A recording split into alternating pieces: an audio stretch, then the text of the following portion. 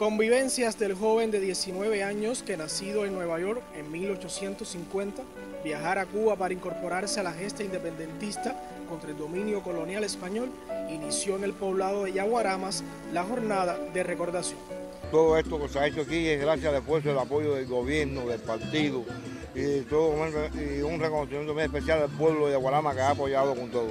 Un joven norteamericano que se identificaba con las luchas de un pueblo con su gente y con los jóvenes que hoy dignifican su ímpetu revolucionario.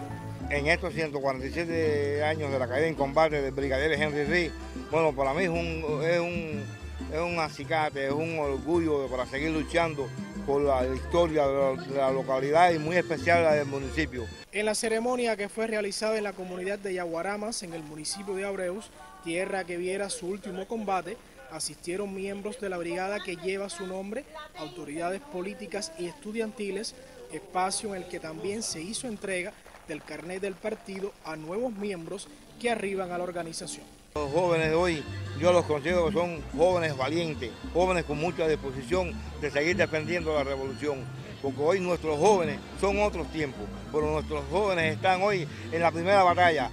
A 147 años de la partida física de Henry Rip, Cuba, Cienfuegos y esta localidad lo inmortaliza en el tiempo, lo recuerda y le agradece. Yuniel González Hernández, Notizum.